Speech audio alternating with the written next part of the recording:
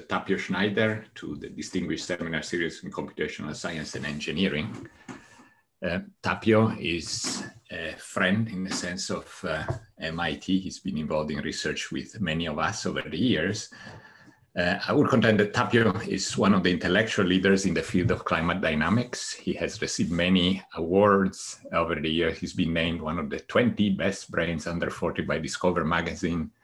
He received uh, both a Packard and a Sloan Research Fellowship. He was awarded the James Holton Award from the American Geophysical Union and the Rosenstiel Award from the University of Miami. But what I respect the most about Tapio's approach to science is that he's probably one of very few examples, at least in climate dynamics I know of, of somebody who is really after fundamental question. He doesn't live in a niche of his expertise.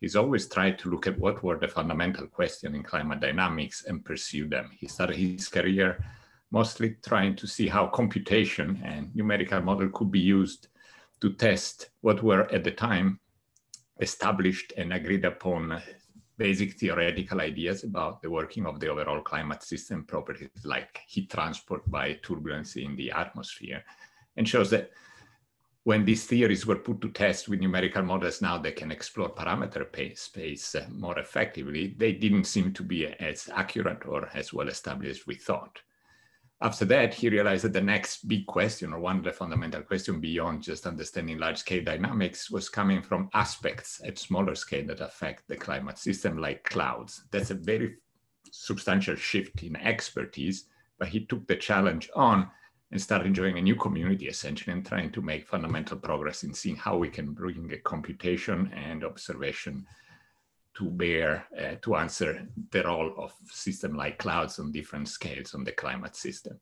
And today he's going to talk about how he keeps moving along this line and he's trying to push in rethinking about how we do modeling of the climate system in ways that would hopefully allow us to both understand the system better and make more accurate and actionable predictions. So I leave now the floor to Tapio and thank you very much for joining us.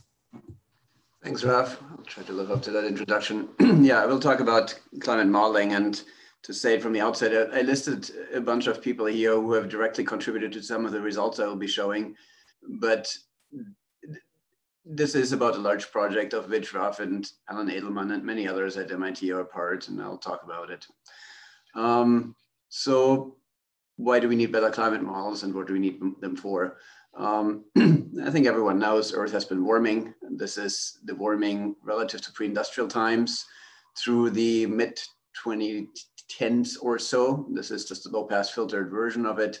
You see the warming is truly global. There's just very few exceptions, perhaps here over South America, but that might as well be a data problem. And by now has the world has warmed there as well. There are these gray patches where we don't have enough data to say much about global warming or about warming um, over 150 years. But by and large, the warming is global. It's stronger over land than over oceans for reasons we understand, thanks in good part to the work of Paul O'Gorman at MIT. Um, it's stronger in high latitudes than in lower latitudes for reasons we partially understand. And it's, it's very much what we see here is what we would expect from increased concentration of greenhouse gases.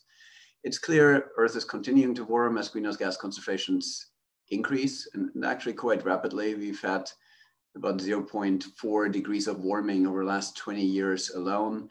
We've had a little over one degree centigrade or Kelvin warming globally um, since the beginning of the Industrial Revolution.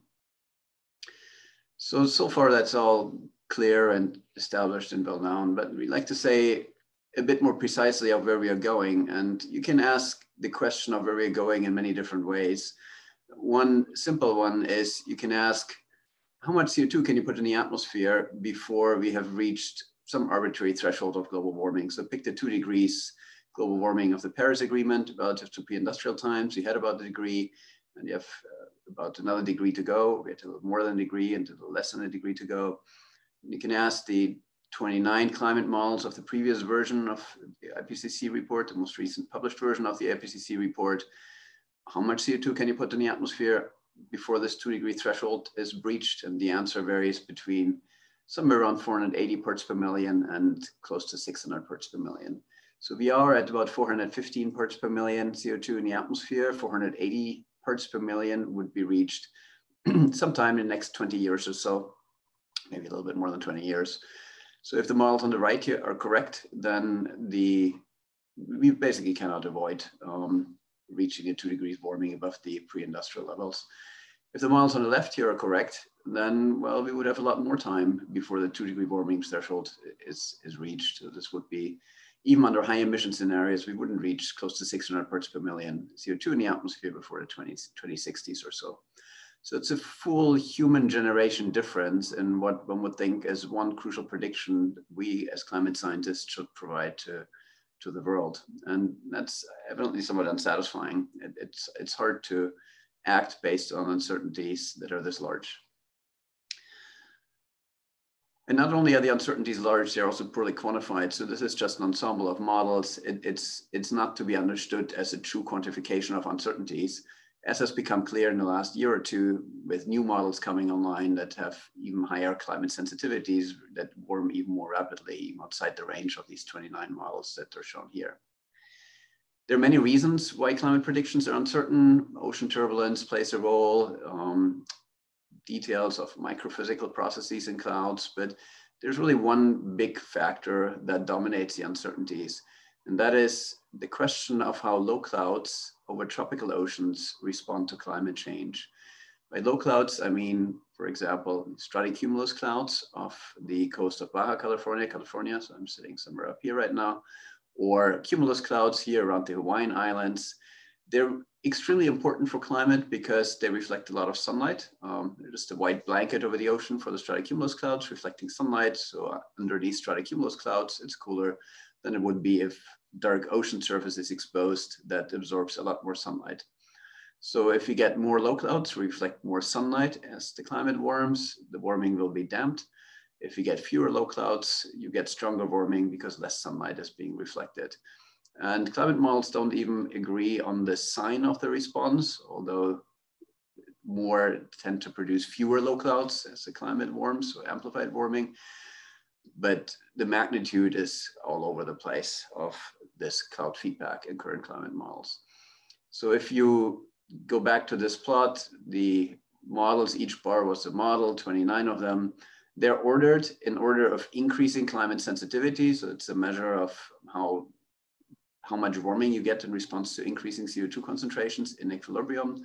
So the most sensitive models are on the right, least sensitive are on the left. And the most sensitive models tend to produce fewer low clouds as the climate warms, amplifying the warming. The less sensitive models tend to produce more low clouds or not much of a change in low clouds as the climate warms, and that can either damp the warming or leave it, leave it unmodified. So fundamentally, we don't know which, if any of these is right. Um, it, it's clear enough that climate is warming that we should do something about it. Um, it's from an economic point of view relatively clear that it makes sense to mitigate some of the warming at least. Um, but I think the big socioeconomic factor that is upon all of us now is that climate is changing rapidly and so rapidly that we'll just have to adapt. We can't avoid some climate change. And climate adaptation requires better information. So we want to make data-driven decisions about how high a seawall to build in around Boston Harbor one day or New York City to protect itself against storm surges. And you like to know quantitatively how high the seawall needs to be to protect yourself against a 100-year flood in 30 years or so. The developing world, um, development patterns will, will have to depend on how the climate is changing, water management infrastructure everywhere. Um, is very much dependent on climate change, how big a storm drain you build and the like. Um, will depend on how much climate change we get and you need to ensure food and water security and the like.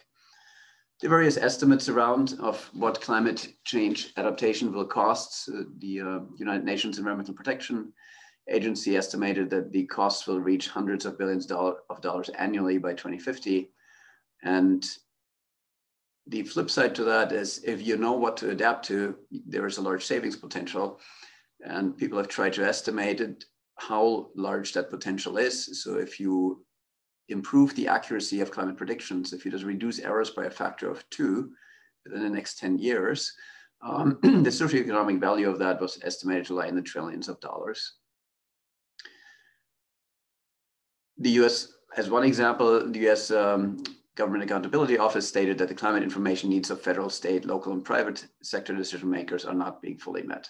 So in other words, while we know climate is changing, we know in, in some ways enough that mitigation is necessary. We don't know, you don't know enough to adapt proactively and efficiently. So climate predictions are uncertain. And I said, clouds are one primary culprit. And I want to use the clouds, talk in some detail about what we do about it, but really use them as an example for other problems in the climate system that you can approach similarly to how we approach the clouds. But first, why are clouds hard? Various ways of looking at it. Um, I think one helpful way is to think about how much water there's in the atmosphere. So if you take all water in the atmosphere and bring it as a liquid layer to the surface, you get a liquid layer that's about an inch thick, 25 millimeters thick. And that's all water, whether it's vapor or condensed water. However, you might as well say that's just only the vapor because the condensed water, so droplets and ice crystals and clouds, they're only a tiny fraction of the total amount of water in the atmosphere. So the total amount of water that's in clouds, if you bring that to the surface and express the amount as an equivalent liquid layer, in the global mean, you get about a layer 100 microns thick, so about the thickness of a human hair or a coat of paint.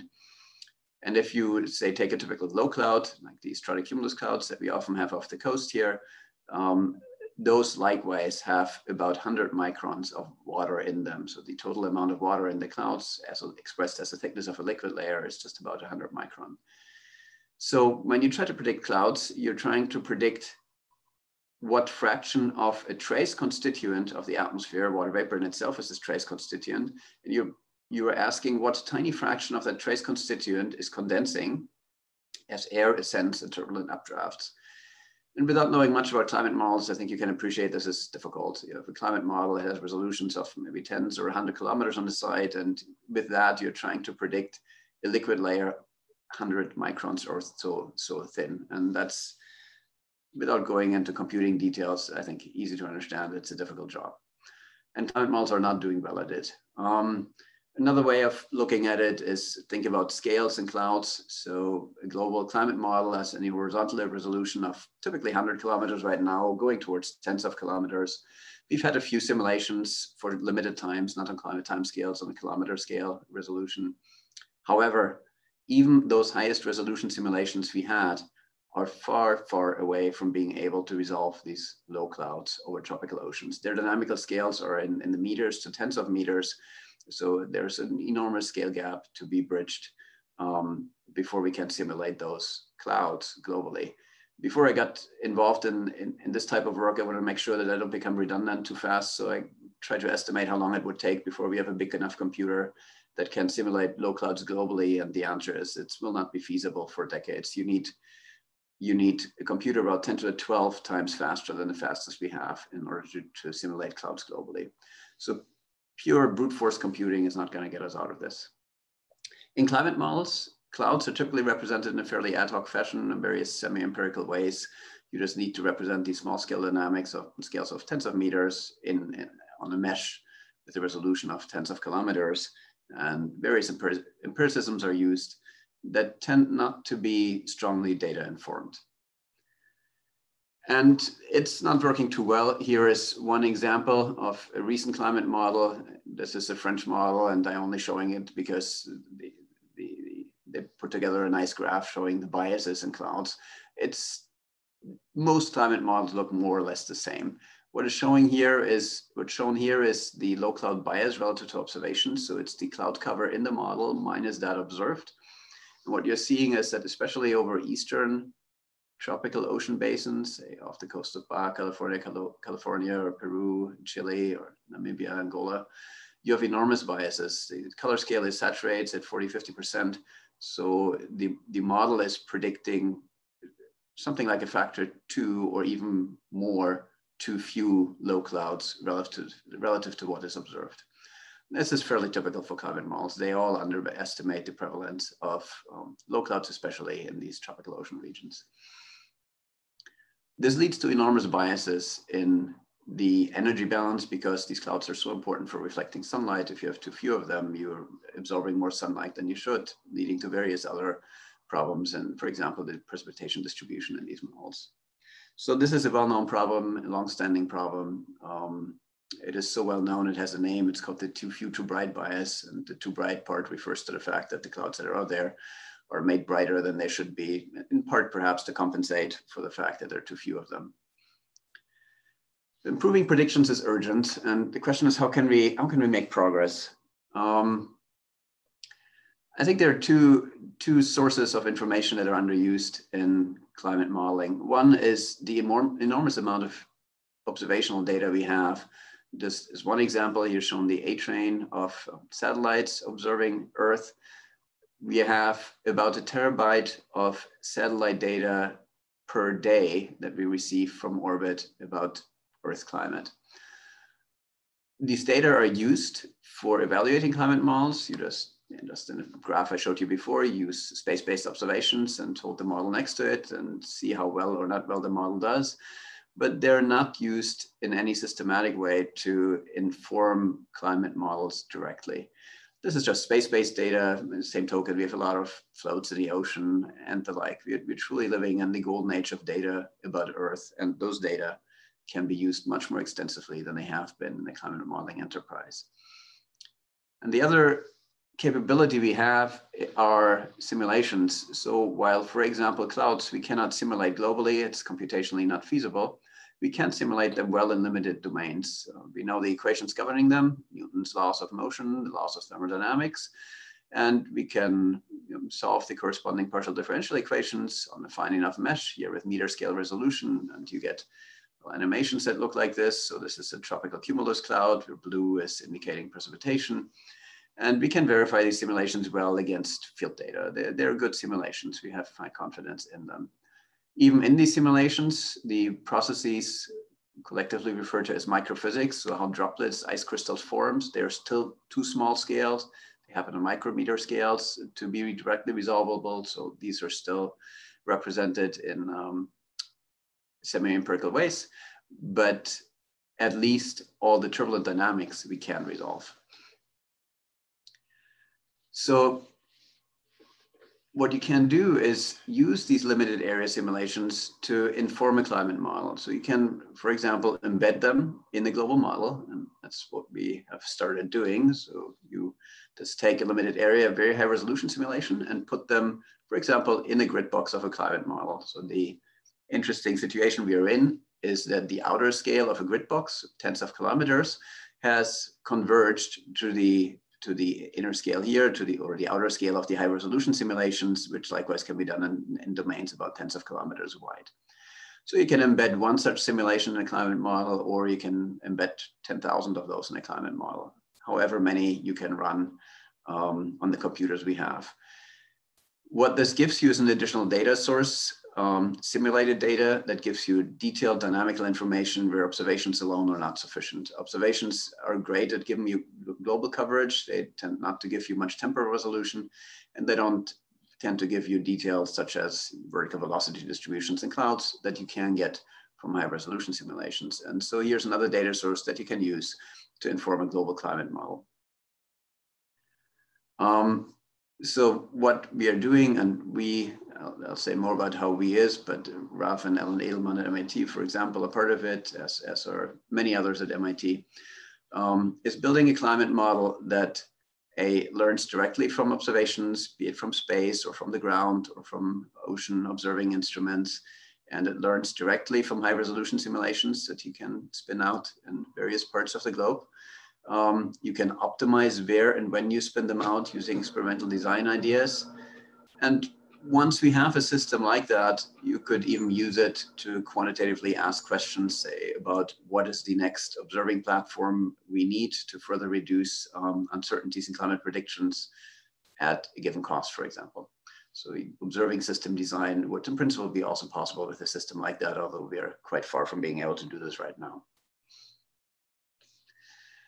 So let me say a bit more about the approach here. I think this is important because there is obviously a lot of excitement about machine learning uh, for good reasons in the sciences now.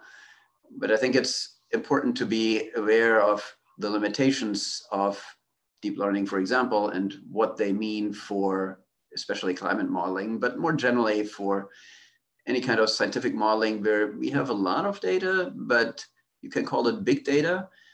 But by and large, it's still not enough data to completely determine the models we like to be using. So the success of deep learning, by and large, rests on overparameterization.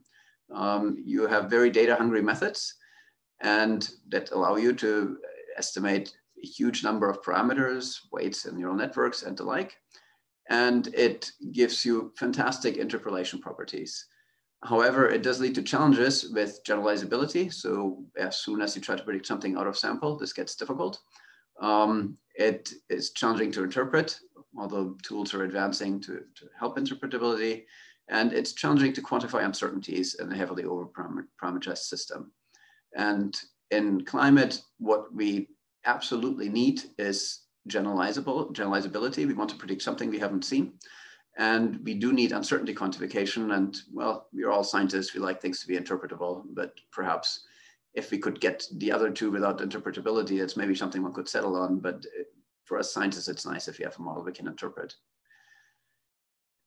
Reductionist science, as we have practiced for since Bacon's time, 400 years, rests on sparsity ultimately. Um, we, we, are, we prefer sparse models. We prefer Newton's um, mechanics and celestial mechanics over Ptolemy's, not because it fits the data better, it actually didn't at Newton's time, but because it's it's sparser, it's fewer parameters you're fitting, and Ptolemy's epicycles were overfitting the celestial, celestial um, dynamics and were hard to generalize.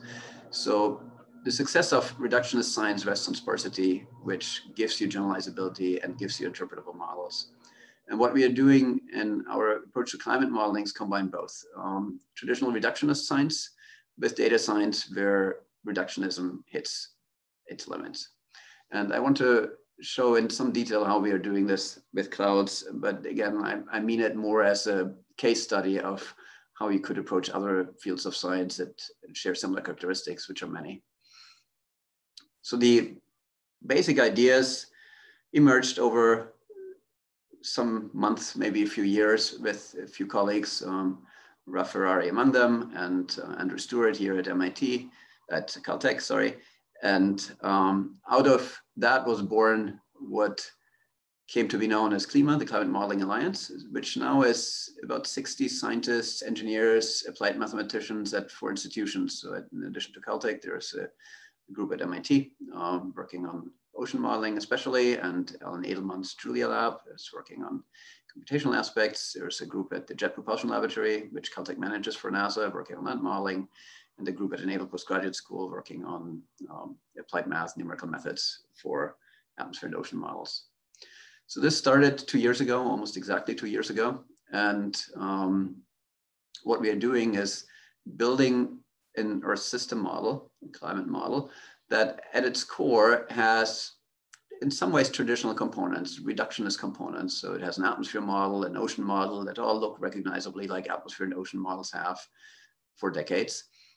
Um, we're building all of these pieces from scratch. There are many new elements to it, but it, it's still physical models for the physical systems or biological models for land mass, biosphere, and the like.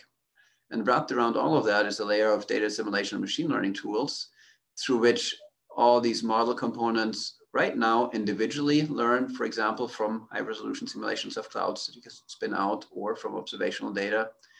And eventually, and eventually uh, this will start within a year or so, when we put the pieces together, all these components will learn jointly from these data sources so that you can jointly quantify their uncertainties, for example. So how does this actually work? Um, I don't know what the right name for this is. It, it, it's not AI how most people understand it and that it's not strictly deep learning, but someone called it soft AI and maybe this is not a bad name. Um, we're using soft AI methods and here's how it goes. Um, if you look at current climate models,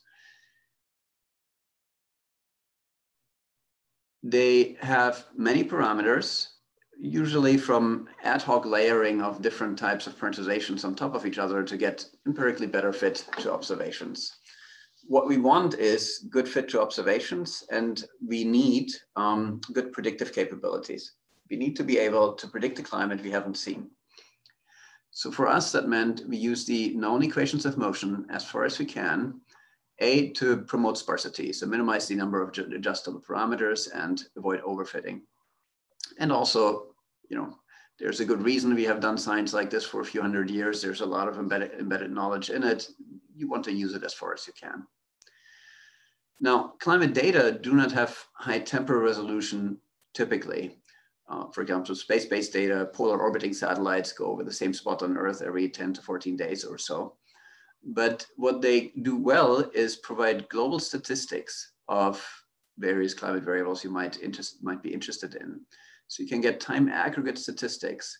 And our approach here was to say, well, we want to predict climate and climate is statistics of weather.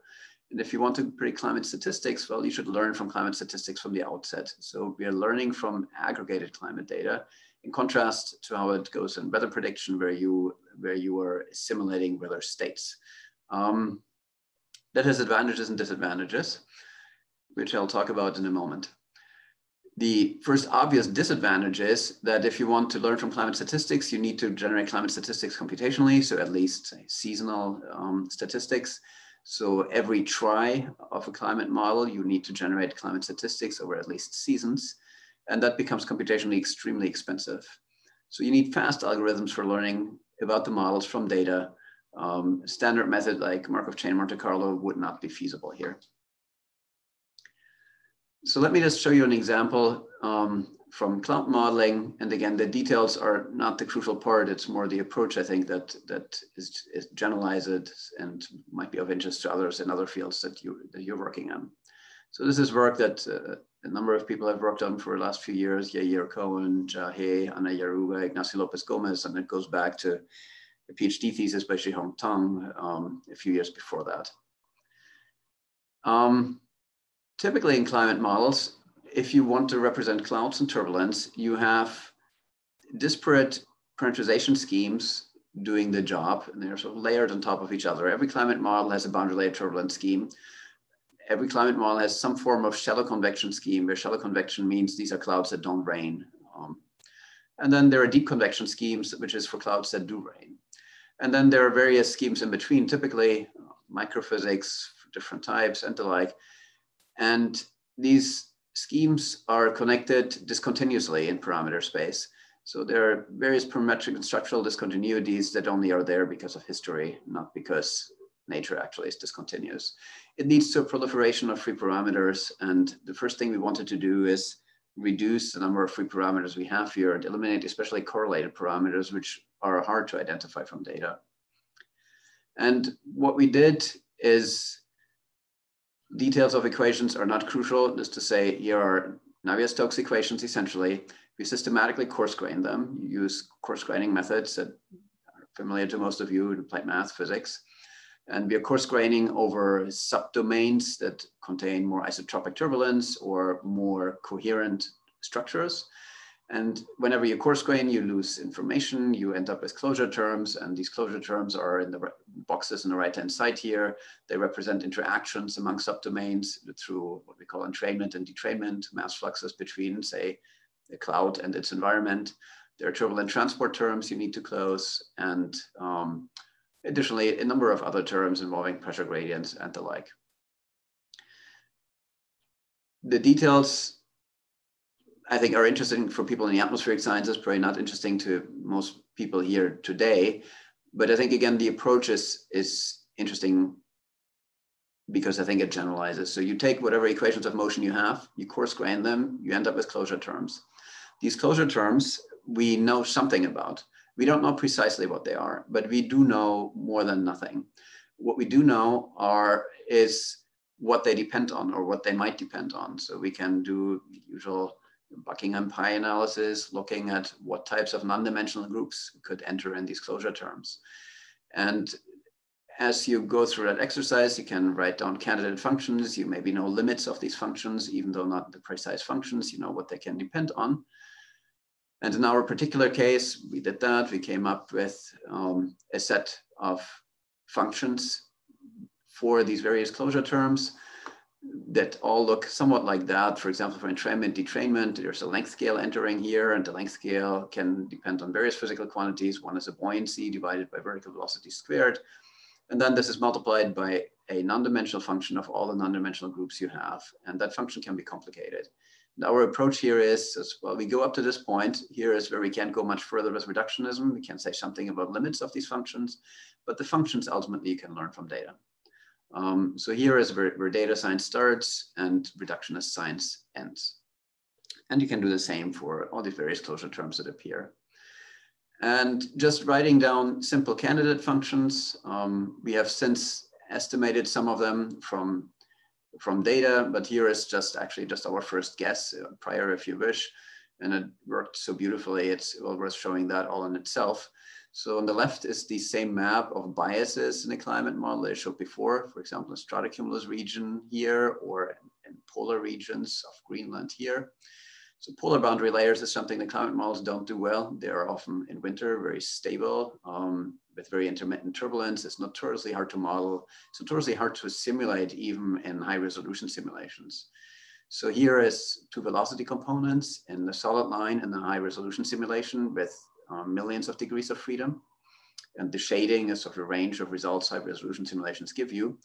And then the dashed dotted lines and the like are just the result of this reduced order model that I showed you before. It's a one-dimensional model in the end. It has um, about 100 degrees of freedom rather than millions for a solid line. And the point is just as the resolution of this reduced order model becomes large enough, we can fit the high resolution simulations almost exactly. Same in these regions here where, where models typically have large biases, simulating stratocumulus clouds. Uh, almost all models do poorly at it. So here is a result of the same closure model now with the same parameters. There's nothing case specifically fitted. And an orange line observations, this is the liquid amount in the cloud. Gray is the shading of large eddy simulation results. And black is our large eddy simulation, which we think is particularly good. And blue is this reduced order model, the parameterization. Um, again, we're going from millions of degrees of freedom in the black line to, in this case, I think 64 degrees of freedom in the blue line, and we end up with an almost perfect fit here. Um, you can go through various cases and maybe let me not belabor the point too far. This here's a case for um, tropical cumulus clouds, shallow convection that we can likewise reproduce or deep convection over the Amazon, where the one crucial question is what the diurnal cycle of deep convection is, when does deep convection set in? And here is a large eddy simulation showing updraft velocities. And here is the one-dimensional model, again, a few degrees of freedom, um, showing the same statistic. And the crucial point here is that the onset of precipitation in our simple model is pretty much at the same time as the onset or updrafts here, but same for precipitation, it's just not shown as in the high resolution simulation. So within one modeling context, we can capture all these different regimes. And the model is interesting for various reasons, aside from fitting well, which is of course necessary and good. It, it can be used in the gray zone, which is the resolution area where convection starts to be resolved. It is one scheme that captures a wide range of physics within one physical framework. And it, in the form it is shown, it reduces the adjustable parameters relative to the many parameters that the climate models typically have. But beyond that, we also made it data adaptive. So as you have more data to calibrate such schemes with, you can increase the complexity of the scheme, increase the number of parameters. And it has a pretty interesting structure, actually. In some ways, it has a neural network structure um, in that there are these interconnects between domains. You can think of them as neurons to a degree um, that have um, sigmoidal functions switching with the, between them. The, the entrainment detrainment rates are sigmoidal functions. And it's, the structure of the scheme is a bit like a neural network where each node is, is a differential equation. That's not why we chose to do it that way. It just came out that way. And it's an interesting analogy that, however, isn't in itself terribly useful in, in, in, um, in using the scheme in practice. It's just to say that what you want in general is use physics to promote sparsity to restrict yourself to function spaces um, that, that satisfy the necessary physical constraints, for example, and this scheme does it. And in some ways, what comes out is a network type structure um, that, however, however, is constrained so that energy is conserved and the like. So currently we're implementing this in a climate model and we have something like now on the order of 100 high resolution simulations with which we are calibrating the scheme and we are going towards thousands of these, thousands of high resolution simulations that are driven by a climate model. Um, oops. So that's just so the, the reductionist aspect and now the data science aspect. Let me talk about that in, in a bit more detail as well, because that I think generalizes very well to many other fields. So here's some joint work I've been doing with Andrew Stuart and Ollie Dunbar and Alfredo Garbuno. There's an increasing number of others being entrained into this project as well. Um, I mentioned earlier that what we want to learn from are statistics of the climate system, not states of the atmosphere, for example, because statistics is what you want to predict. Um, you want to predict average rainfall or extremes in rainfalls. It's a higher order statistic, but you're not able to, or it's not, not even meaningful to ask what rainfall in Boston will be 20 years from now on you know, November 12th. So what this means is what we're doing is you can use any statistic that you wish, that you think is informative about the processes in a climate model. So at first order, these will be various mean fields um, that amounts to minimizing biases, minimizing mismatches between mean fields and also minimizing biases, say in top of atmosphere energy fluxes in climate model. But you can do the same thing for any higher order um, climate statistics. For example, precipitation extremes is something we are very interested in for predictions. And you can um, minimize mismatches between simulated and observed precipitation extremes and learn from that mismatch to calibrate the model and quantify uncertainties. If you do that, if you use statistics to calibrate a model, the advantage is that you end up with smoother objective functions because statistics vary smoothly in space and time, whereas states don't. So whether there's a cloud in Cambridge or in Boston, it's, it's a, it's a um, discontinuously different situation from the perspective of the atmospheric state. But once you average cloud cover, it doesn't vary much between Cambridge and, and Boston, but varies quite smoothly over large scales. Um, it allows you to use climate relevant statistics, for example, covariances between cloud cover and temperature, something that people call emergent constraints, directly in the objective function. You can directly learn from that. The downside is that accumulation of averages is expensive. So every time you need to accumulate an average, you need to run a climate model for however long you want to accumulate the average, and that is expensive. So what we needed are ways of learning from data that are fast, uh, much faster than existing methods, and we had given ourselves a budget of, well, we can do about a thousand climate model runs to calibrate a model and um, quantify uncertainties. And that number came from what typically climate modeling centers do when they do, do calibrate models by hand. Let me maybe, in the interest of time, skip some details of, well, maybe say it quickly. So I mean, mathematically, our problem is that we want to learn about a parameter vector from data y, and we have a model g that maps from parameters to, to data. Because we're using climate statistics, um, it's reasonable to make some central limit theorem assumptions that the, the, the this there's a noise term here that's reasonably Gaussian and um, has some variance that we can estimate as well.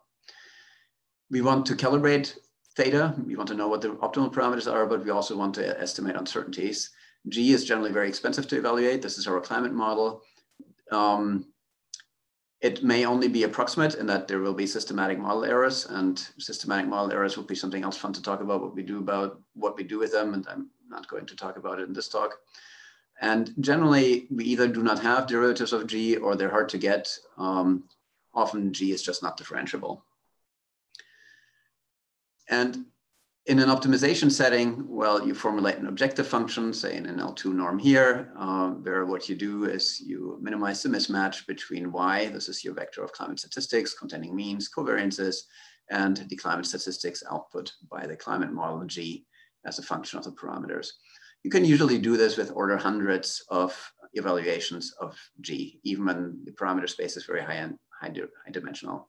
So with derivative-free methods such as um, ensemble Kalman inversion as one example, That's the typical computational effort required. And it scales well to high dimensional data and parameter spaces. So the 100 is fairly, um, it's not strongly dependent on the size of the parameter space.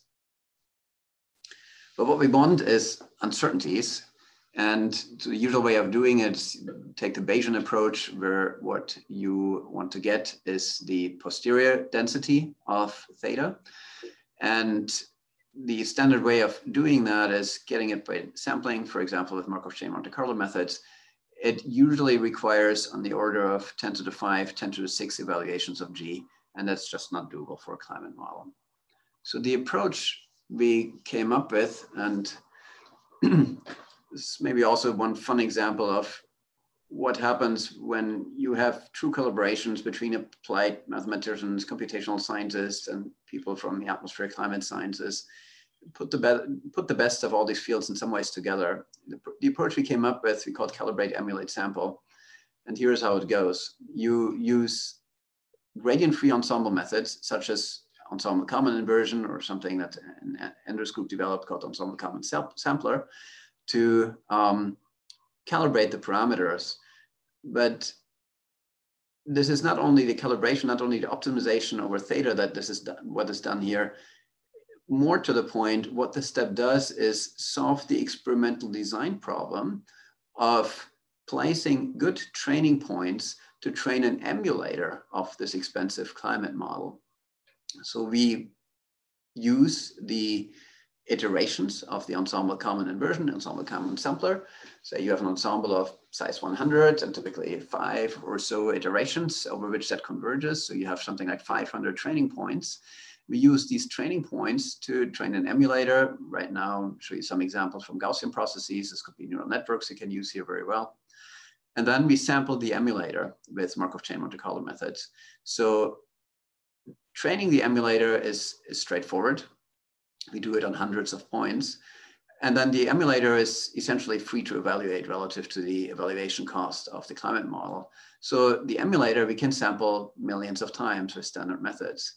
And so what comes out in the end is an approximate Bayesian posterior distribution of theta at a cost that is the cost of the expensive step here, the calibration step, so which has the order of thousand model evaluations rather than millions hundreds of thousands. So you get something like a factor thousand or so speed up over standard MCMC methods by using this calibrate emulate sample pipeline. And in our experience so far, you're not losing much accuracy and computing approximate Bayesian and posteriors. And in fact, for problems like the climate system, it's chaotic, it has internal variability. The emulation step gives you additional smoothing through Gaussian processes and what I'll show you next that actually helps, um, makes this problem more stable, more robust. Um, let me just show you one quick example from an idealized climate model. This is very simple. It's um, a model that Paul O'Gorman at MIT and, and, I have worked with for a number of years a while back. And the only thing you need to know here right now is that there's a temperature equation, a specific humidity equation, and they have very simple parameterizations for convection, which is just linear relaxation towards a reference state over some time scale tau. And the reference state has some relative humidity, RH, which are two tau and this RH are two adjustable parameter in this simple scheme. This is just a proof of concept. It is not at all a good climate model or realistic, but it illustrates the concepts.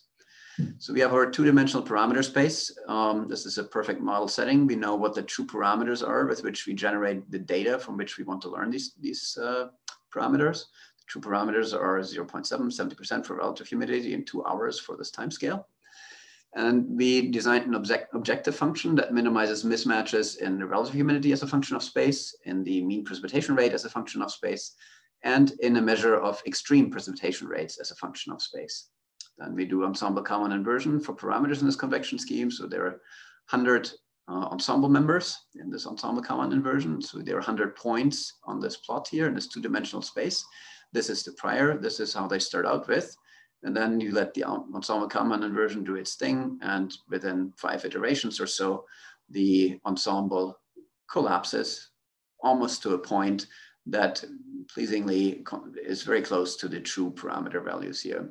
So ensemble Kalman inversion gives good calibration properties here. What it does not do is give good uncertainty quantification. The ensemble collapses. Um, the spread of the ensemble is not a useful measure of the uncertainty here. So in these 500 or so um, climate model evaluations we had, so ensemble size 100, five iterations, we use these as training points for a Gaussian process emulator. And here are the statistics that are in our objective function, some relative humidity, a precipitation rate, and what is shown here is the probability of exceeding a threshold, a precipitation threshold, which in this case is picked to be the 90th percentile of precipitation. So it should be exceeded 10% of the time.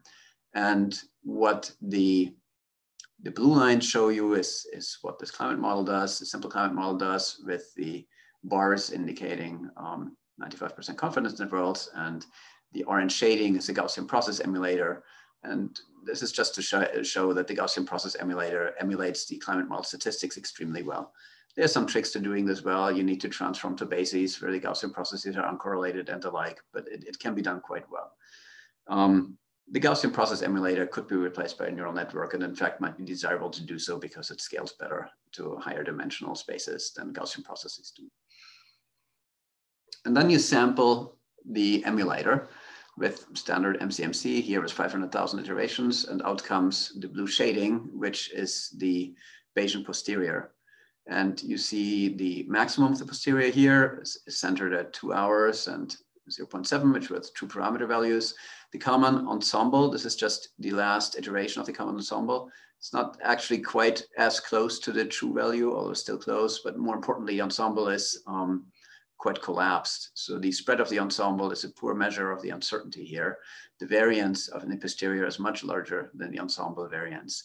It's a well-known problem of this ensemble Kalman inversion that the that, that it's not, not a useful uh, algorithm for uncertainty quantification. But for solving the problem of finding good training points to training an emulator, it's great. And that scales well. And then we can sample the emulator to get good uncertainty quantification. We know this uncertainty quantification is good by, this model is simple enough, we can do brute force MCMC on the model itself. And um, you just see that the variances or standard deviations for these two variables that we get from the posterior here and our goldish standard, if you wish, they're quite close to one another. So we are confident this is actually accurate uncertainty quantification. You can, you then have a posterior ensemble of parameters in this model. You can sample from that posterior ensemble and do climate predictions. So here's just one example. Now we change boundary conditions, make the climate warmer by increasing the, um, the concentration of greenhouse gases in the atmosphere. And what's shown here is the probability of exceeding what was the 99.9 percentile of precipitation in the control climate. So in the control climate, the probability of exceeding 99.9 percentile would be uh, 0.1%. And in the warmer climate, that percentile is exceeded, well, in higher latitudes, um, twice, almost three times as often.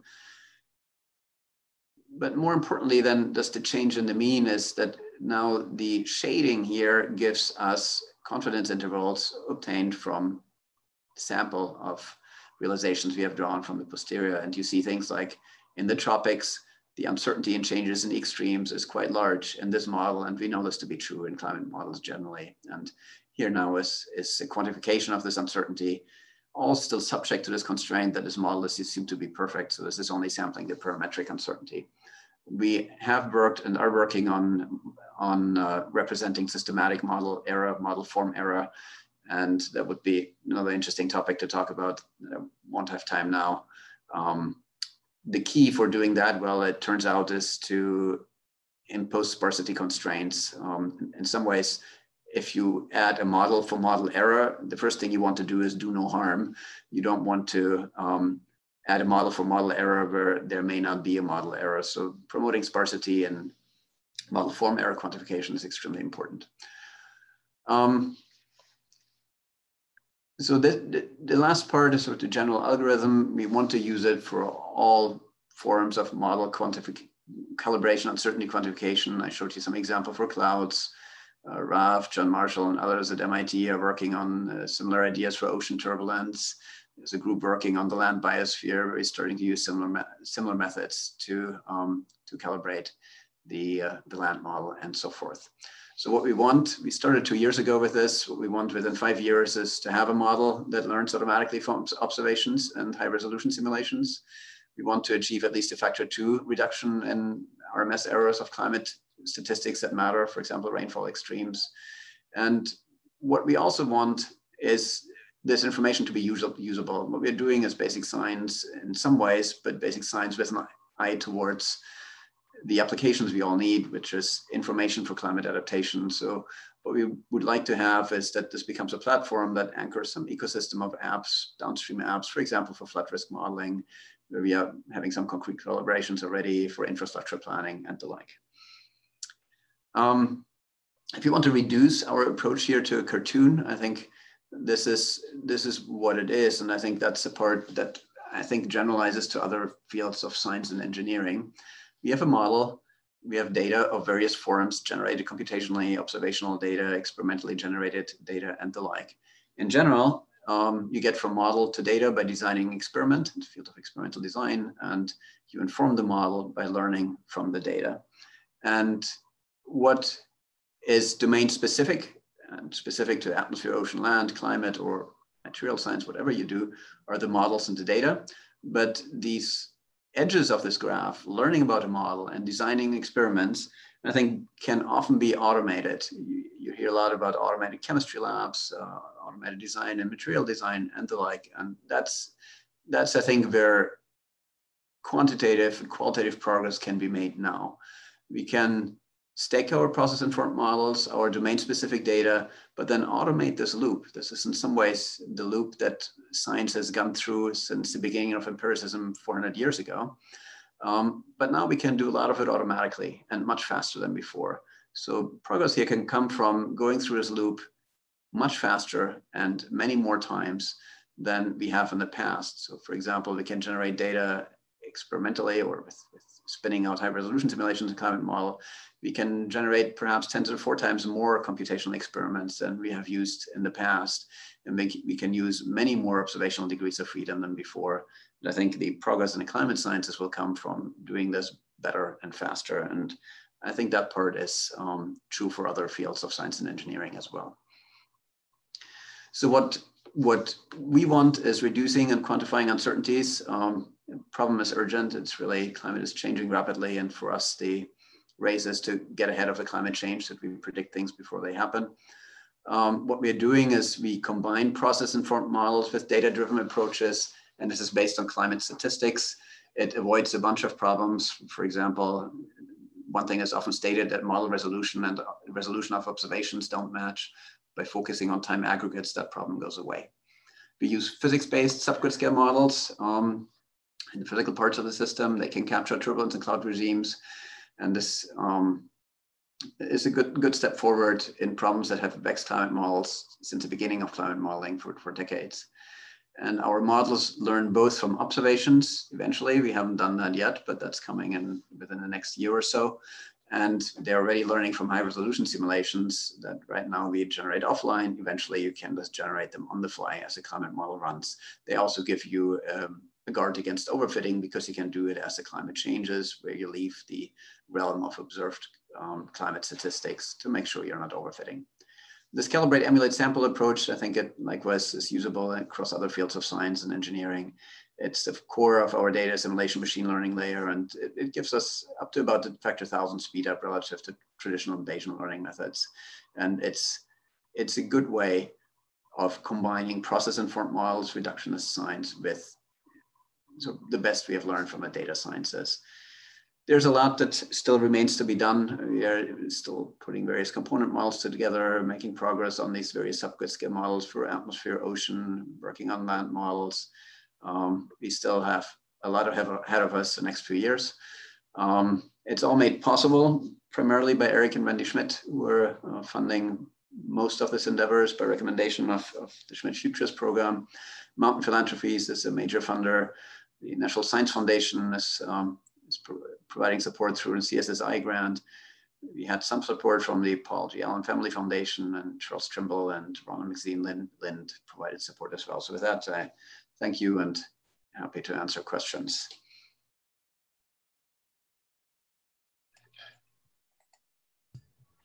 Thank you very much. I'm sure there are a lot of applauses that we cannot hear, but now we'll open for question. I'll start reading one that was submitted while you were speaking. It's probably somebody who has good links to Caltech. And the question is, would the recent work on Fourier neural operator for parametric partial differential equations by Professor An Kumar at Caltech uh, help in climate model, in the calibration of climate models?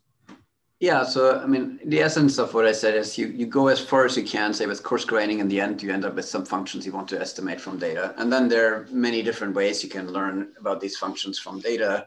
And um, it, Fourier bases are, are nice for their approximation properties, and, and they may be a good, good basis and approaches like what Anima and Andrew and others have been working on could be used there, yes.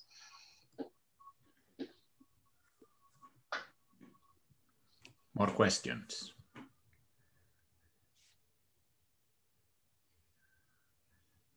Otherwise, maybe while we wait for people to unmute themselves, I'll ask one myself.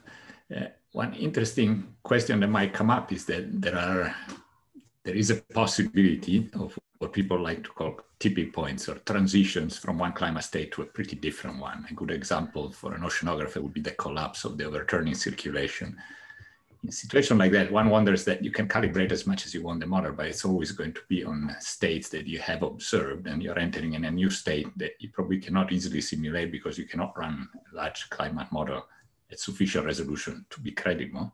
So how do you think what should address the problem of trying to extrapolate to states that yeah. you're not likely to have observed because you might not anticipate them?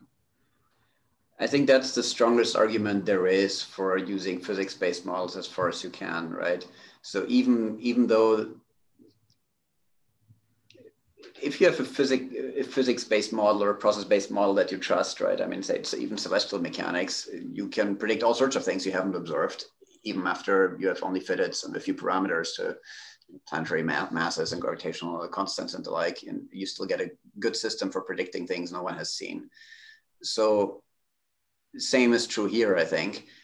As long as your physics are are right, or it depends what you're learning from data, right? If what you're learning are are small scale processes that you know are, are, fluctuations that happen in the present climate as much as in a changed climate, and if that's what you need to close, and it's that's all you need to close, then you can learn the closure from the present climate and still predict things that are entirely different.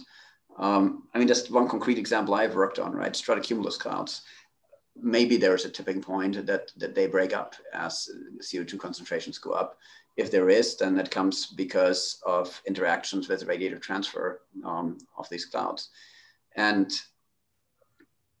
the, the results I showed you, we calibrate those clouds, those schemes with statistics of the present day climate. But they can produce these transitions without any problem because the physics is there.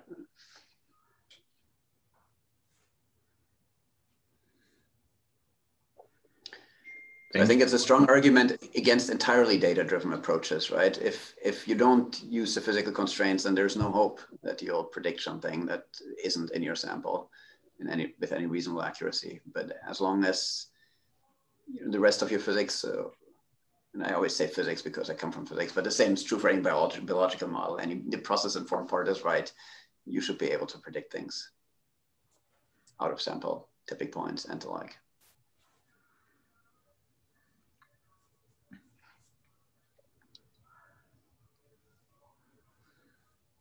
Please feel free to ask questions or put them on the chat and I'll read them if you prefer that way.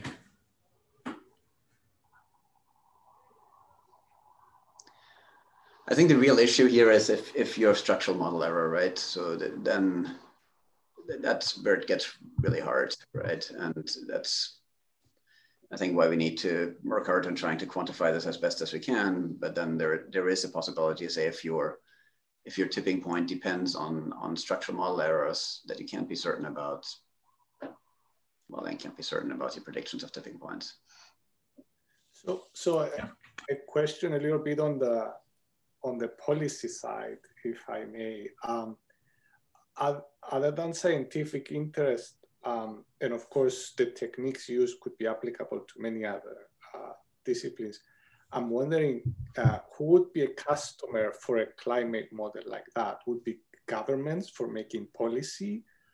Uh, yeah, maybe. I mean, the, so the policy part there is some. I mean, you, you can argue that with better climate information, you can have more informed policies, but you can also say, well, we have enough climate information to come up with better policies than we have. So maybe the marginal improvement of policy with better climate information may not be huge. But I think the real customer, if you wish, is economic activity throughout all economic spheres it will start to be affected by climate change. Just a few examples. Um, California pension plans are now required to be risk stratified. The portfolios are required to be risk stratified and risk assessed for climate. So this is $700 billion worth of investment where climate risks have to, have to be assessed. And well, this is one obvious application where good climate information will be economically valuable. Any kind of planning, infrastructure usually lasts decades, 40, 50 years, you know, stormwater management, seawalls, um, energy infrastructure so you make long range decisions in, in investment decisions there that you want to make in a way that is proactive and effective in a changed climate. And there you need good climate information. So I think my take is the information we provide is most useful for what you might call adaptation and probably more regional planning, municipal planning, um, economic activity generally than mitigation policies. Okay, good. There is an interesting question is that have you seen this kind of approach in applications like large scale wildfire modeling as well? Wildfire modeling is young. Um, you could use this approach for, I mean, it, it's part of what we want to do and we've had discussions about. We have a land model, it will give you information about how dry the soil is, what vegetation there might be in a changed climate. And you can use that as input for a more detailed wildfire model that then assesses wildfire risk in, in much the same way as we can talk about cloud changes. Okay, I think maybe in the interest of time at this point, we should come to a close, but I'm sure if people have a real, oh, well, maybe there is one more. For scientific machine learning in wildfire modeling, I know that there are some students doing a project. Maybe this is a comment in differential equation flux.jl. So actually people are trying to and probably yeah. connected to the CliMA project. That would be fun. Yeah. Yeah, there are some good wildfire models. For example, in Irvine, it's a very active wildfire modeling effort. Uh, but otherwise, uh, I wanted just to conclude by saying that Tapio, I'm sure that if you have interesting question or you want to follow up, uh, uh, uh, can be reached uh, at Caltech at his email, given the constraints of the crazy world we live in and that everybody is overcommitted. But um, and uh, more in general, a lot of the work that Tapio presented is part of this CliMA project, and there is a strong presence at MIT. The Julia group is heavily involved, a group of us in EAPS is heavily involved, and we are always happy to talk with anybody that might be interested in contributing ideas or participating. So take full advantage. We are glad always to interact and learn new approaches. But thank you very much otherwise. And again, thank you, Tapio, for a great and illuminating talk. Bye-bye. Nice to see you. Thanks.